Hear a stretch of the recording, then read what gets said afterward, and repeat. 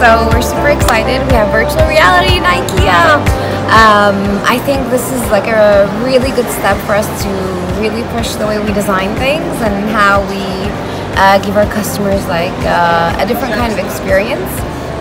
Um, we were so excited about the idea of it at first that you know a customer can really customize their living room. They can step in um, and change everything, choose our sofas, choose our tables.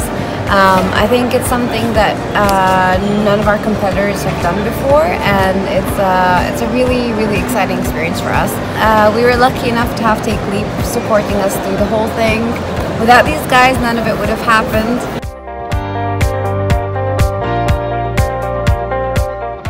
We started to work with TakeLeap uh, only uh, three months ago.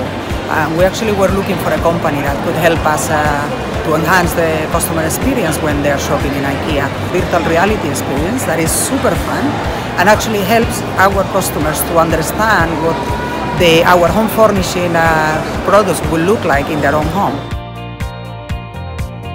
super easy to use and people enjoy really really a lot and then actually they end up buying uh, the product because they can see what it would look like in their home and then feel more comfortable with the purchase.